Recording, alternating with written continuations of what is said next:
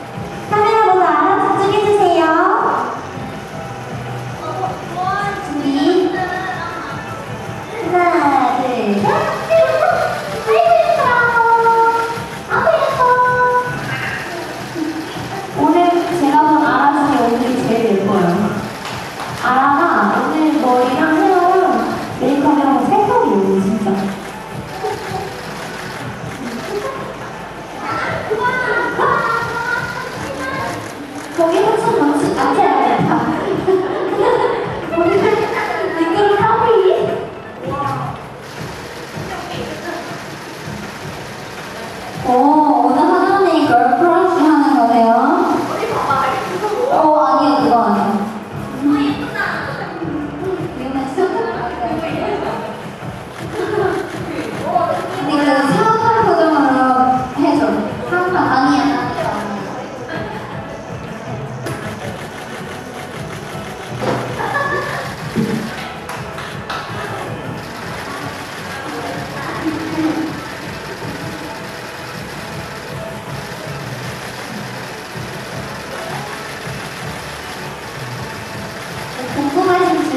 게 있어요? 네, 내용이 궁금한 게 있어요? 우리 아이의 생활에 대해서?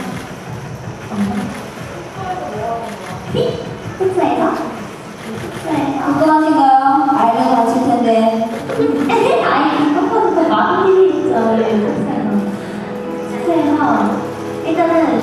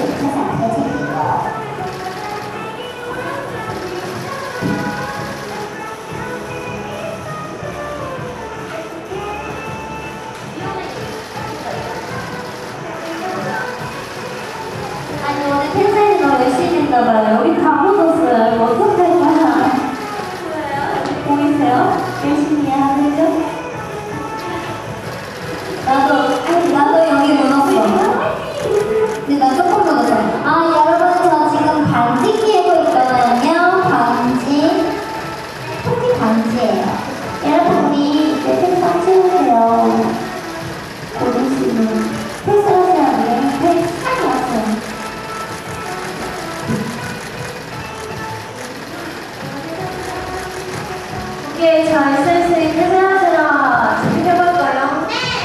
네. 네.